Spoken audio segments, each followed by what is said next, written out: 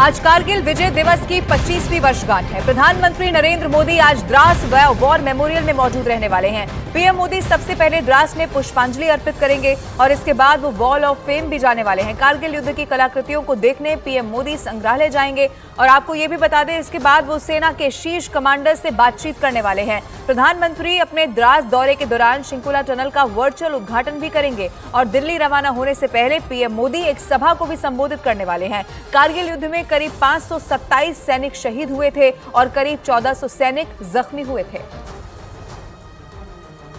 और इसी को लेकर आज प्रधानमंत्री नरेंद्र मोदी का यह बहुत अहम दौरा है। आपको एक बार फिर से बता दें, आज का दिन विजय दिवस के रूप में मनाया जाता है यानी कि 25वीं वर्षगांठ आज है।